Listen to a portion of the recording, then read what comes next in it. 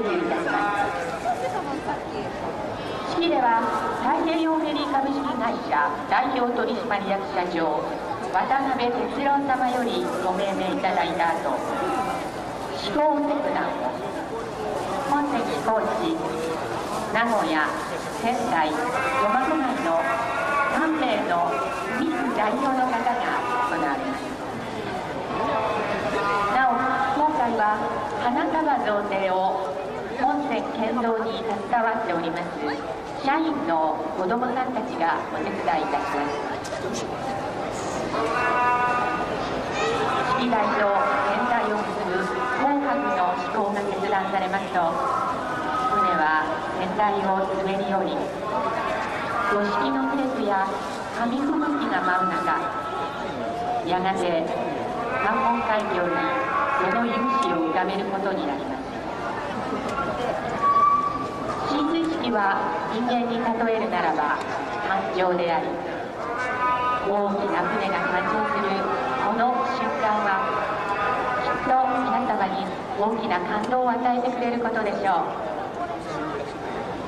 本日はその感動をぜひたっぷりと味わってください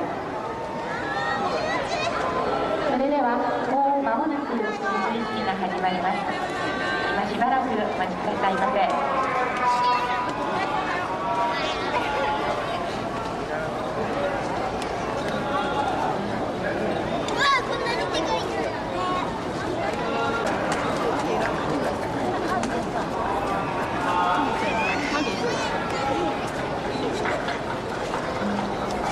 すいません混雑しているので奥に進めてくださいご協力お願いします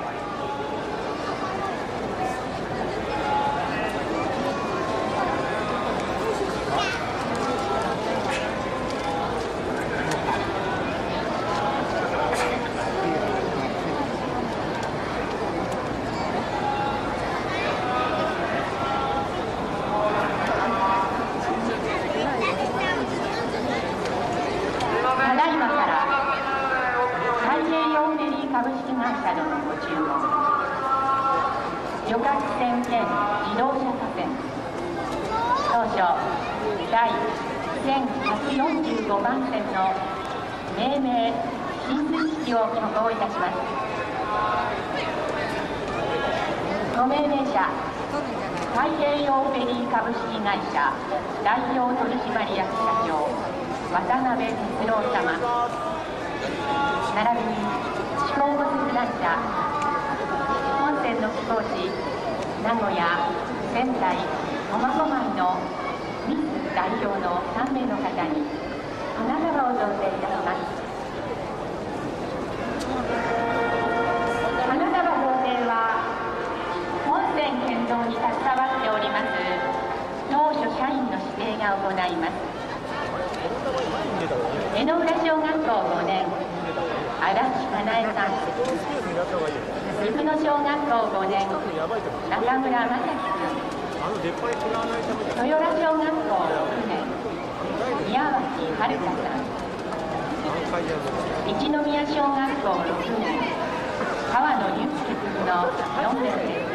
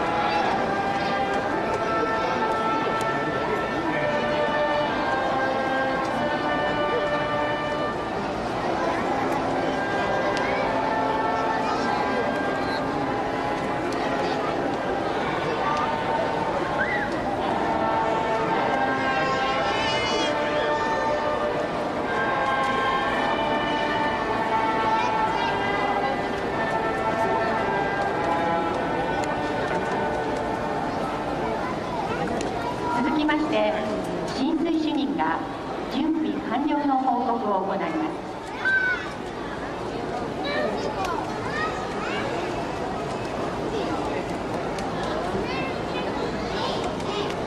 準備が完了しましたご命名をお願いします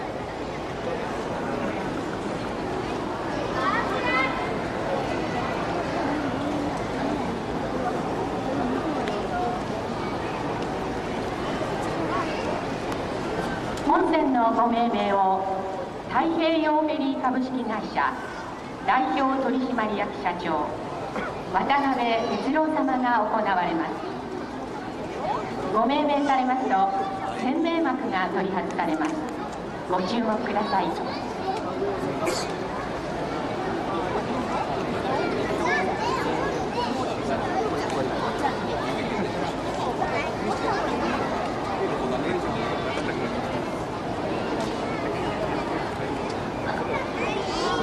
命名本船をしかりと命名する。平成22年8月26日太平洋フェリー株式会社代表取締役社長渡辺哲郎。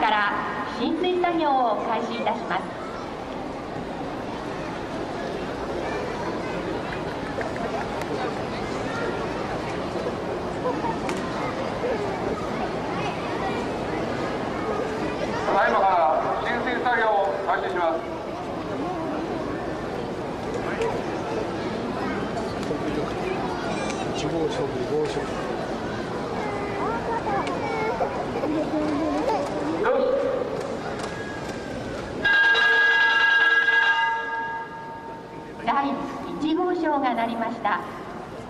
この鐘を合図に浸水作業開始の確認をいたします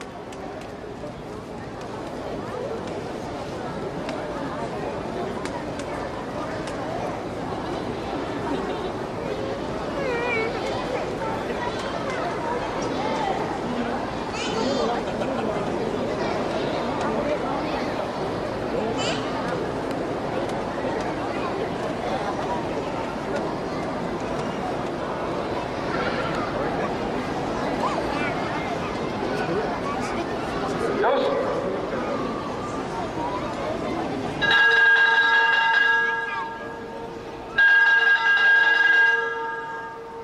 第2号章が鳴りましたこの鐘の合図で船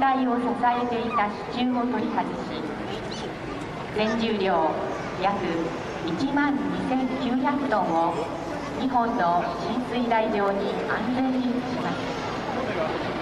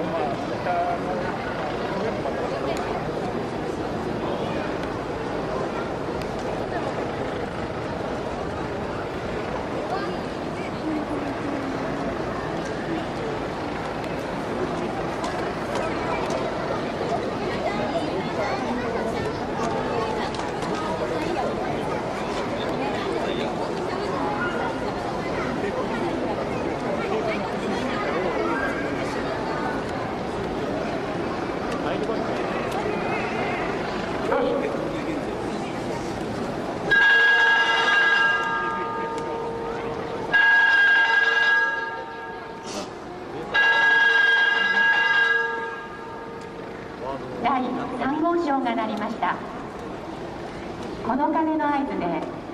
船体滑り止め装置の安全装置を取り外し飛行切断と同時に外れる状態にいたします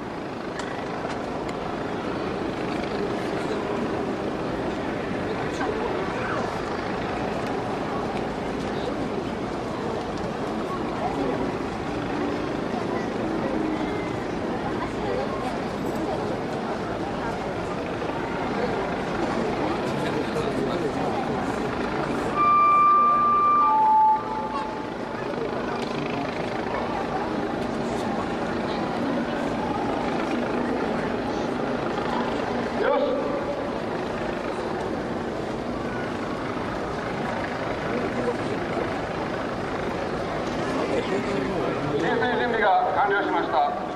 死後ご切断をお願いします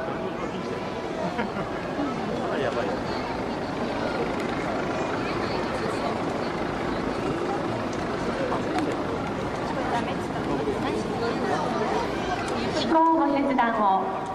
3名のリス代表キラッと名古屋メイズ伊藤ゆりな様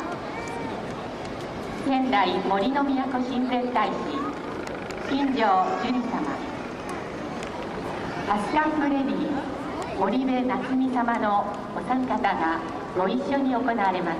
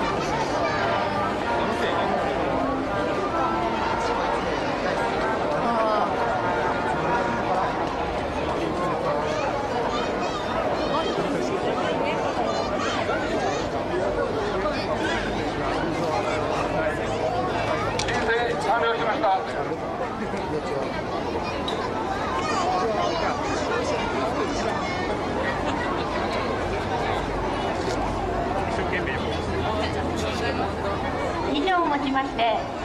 石狩の命名浸水式を終了いたします。本日は誠におめでとうございました。